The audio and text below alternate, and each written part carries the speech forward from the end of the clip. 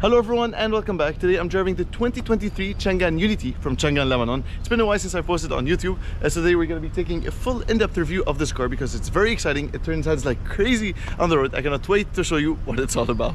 So you can see today I'm in beautiful downtown Beirut taking a look at this beautiful Chang'an UNI-T. I mean, I love the spec on this car. The blue looks amazing. I mean, take a look at this design. They did amazing uh, with the whole aggressive uh, sporty design. You can see we have quad exhaust tips at the bottom, beautiful LED data daytime lights. On this car we have front and rear led lights. And then take a look at this massive spoiler. Very intriguing design to say the least. We do have fake carbon obviously but i mean it's really nice design very aggressive. More aggressive than the lamborghini urus um, spoiler which is really nice. We do have an automatic tailgate which is always nice to have. And i mean take a look at the bottom design. I mean that is crazy huge thumbs up to Chang'an for this uh, design. It looks absolutely stunning. We do have 20 inch rims and they're blacked out uh, as you can see uh, with the contrasting yellow uh, calipers. Again uh, to match the whole uh, yellow accents on the car you can see the door handle over here on the top. Flush door handles for the front. Take a look at that. This is how you open it. We do have bucket seats at the front. I'm going to show you that in a second. And take a look at this front end.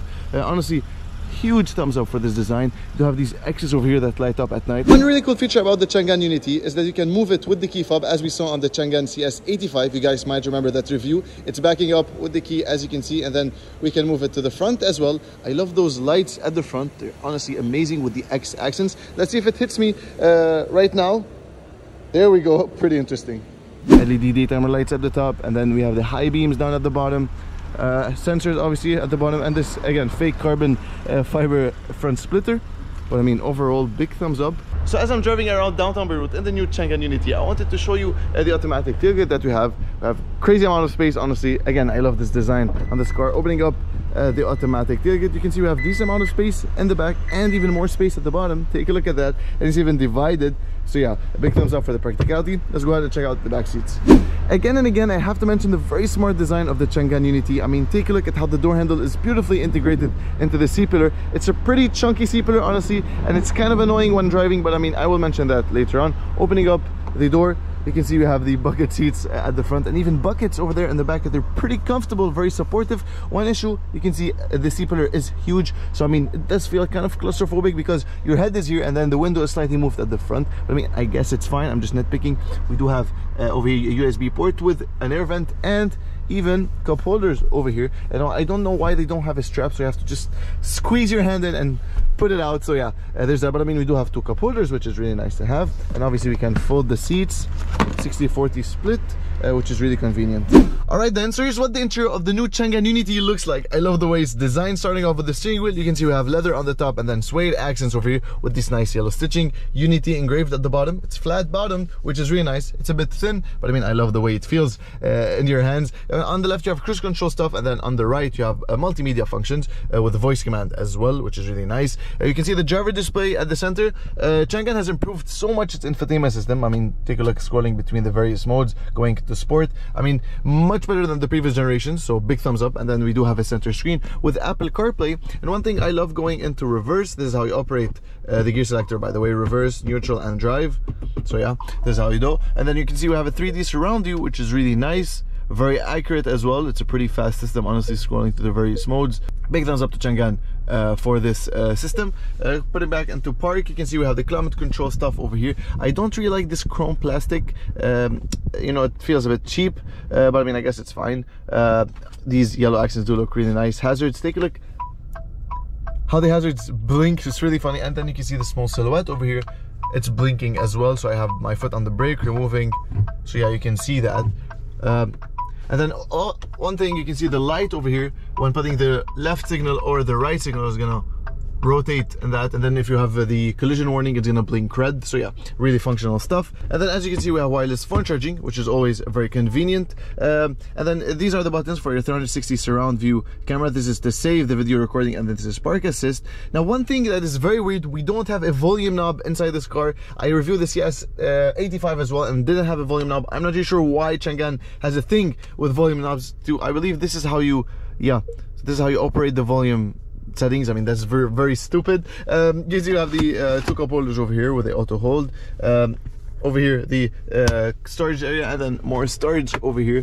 Uh, you know, decent amount of space. And I honestly love those bucket seats. We do have a panoramic sunroof take a look at that so yeah uh, it's pretty large as well it doesn't open up but I mean it's pretty wide uh, let's go ahead and drive this car Alright, so I finished editing a few stuff and I grabbed my coffee.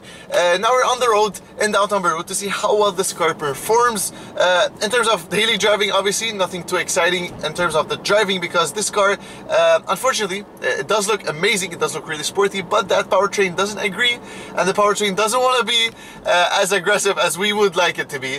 Um, it has 1.5 litre turbocharged four-cylinder engine only and makes 177 horsepower and 300 newton meters of torque. Now, torque figures are pretty good, but uh, let's accelerate. No Tiptronic or anything. We cannot downshift, so might as well floor it. So yeah, not the fastest. It's a bit uh, noisy as well. Uh, I just wish that powertrain was better, but uh, don't get me wrong, it's a pretty smooth powertrain. I mean, pop it into Eco. All right, so with that on Beirut, we just want to be the most fuel efficient um, driving mode. And honestly it's really smooth. Power delivery has improved a lot on Changan's. Uh, previously it jerks during takeoff and whatnot. Now it's just really nice really smooth. Gear shifts are pretty fast as well. So yeah you cannot do the shifting uh, yourself as I mentioned but I mean I don't think that's a big of a deal.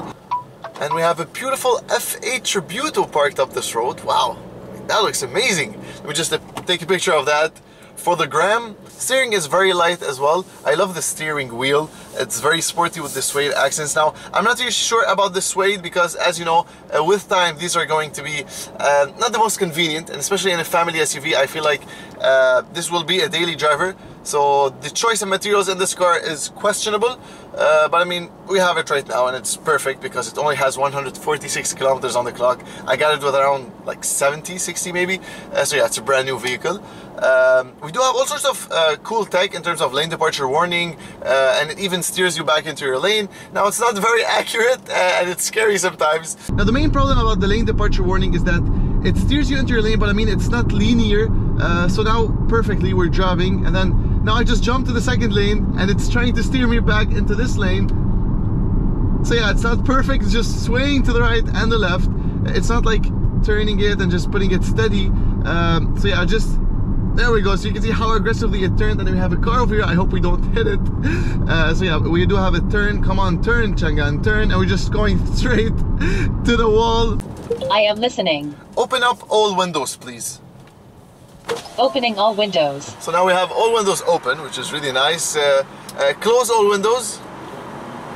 Opening all windows. No close all windows. There is no route. Uh, Changan close all windows please Please continue. I have to comment, it goes over road bumps very smoothly, and even potholes and road imperfections. This car really glides over them. I hate the turn signals. What is that sound? Going out of a...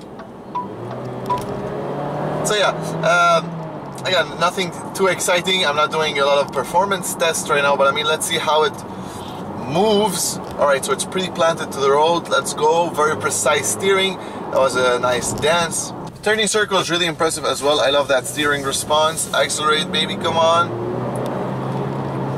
I just go into here. It's planted. There we go. Obviously, that three spoiler doesn't put a lot of aerodynamics. Uh, I mean, I believe it's just there to look good. Where's the launch control? Launch. Control.